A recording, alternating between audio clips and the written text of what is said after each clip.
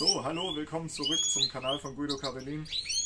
Ähm, toll, dass ihr wieder dabei seid. Heute ist der große Tag. Äh, die Nester werden angebracht.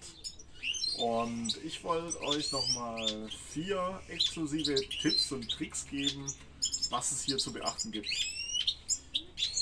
Tipp und Trick Nummer 1. Ähm, ich habe jetzt jeweils für jede Box ein Nest bereitgestellt. Das ist einmal ein internes Nest, das heißt, ich habe die Türe weggemacht und hänge es von innen rein, das heißt, die Vögel können innen zugreifen und eins mit Türchen, ähm, das ich außen ranhänge. Das heißt, unsere Stieglitze haben prinzipiell immer zwei Sachen zur Auswahl und können einfach das auswählen, was ihnen am meisten einfach gefällt. Und das ist für mich auch noch eine Grundlage vom Zuchterfolg. Bevor ich die Nester reinhänge, mache ich allerdings in jedes Nest noch eine Prise Natron rein. Natron, das hat mir ein früher ein alter spanischer Züchter hat mir das erzählt, hilft gegen Milben. Das bedeutet, wenn ich Natron in den Nestern habe, ist es nicht so, dass es alles abtötet oder so weiter, aber es hält sie auf jeden Fall während der Zucht, während diesen zwei, drei Wochen, sollten es in der Zeit zum Milbenbefall kommen, erstmal zurück. Das ist ein natürliches Mittel, an dem man mit ein bisschen Pulver, wo man einfach gegen Milben und andere Schädlinge äh, die Möglichkeit hat, es zu vermeiden.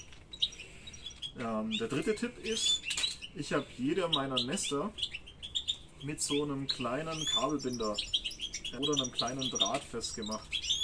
Ähm, man sieht es, wenn man genau hinschaut. Hier ist so ein kleines Drehtchen. Hier ist ein äh, Kabelbinder dran eigentlich auch letztlich nichts anderes wie ein kleines Drehtchen. Ich mach's mal, hol mal ein, ein schwarzes, damit man das sieht. Das sind die Teile, wenn man zum Beispiel Kopfhörer kauft oder Aufladekabel, sieht man hier.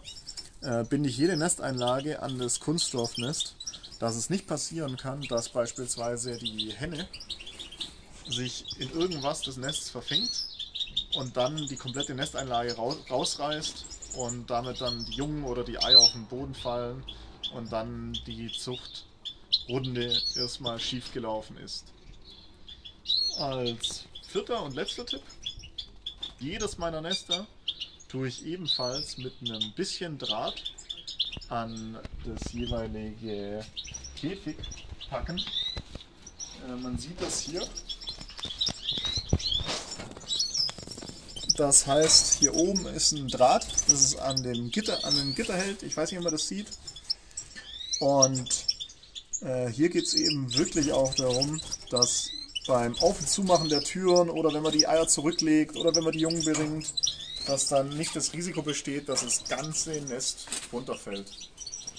Ihr seht, hier habe ich schon ein Nest angebracht. Die konnten es nicht erwarten und haben auch schon kräftig begonnen zu äh, bauen.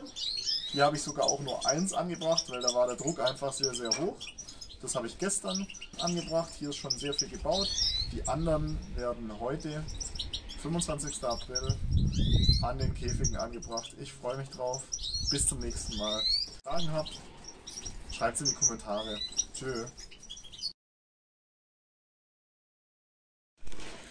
So, Nester sind drin.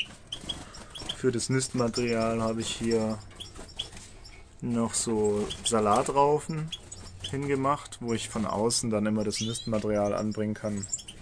Und hier und da wird auch schon mit dem Nistmaterial gespielt. Überall ist Natron drin. Überall ist, äh, sind die Sicherungen drin über, das, über den Draht.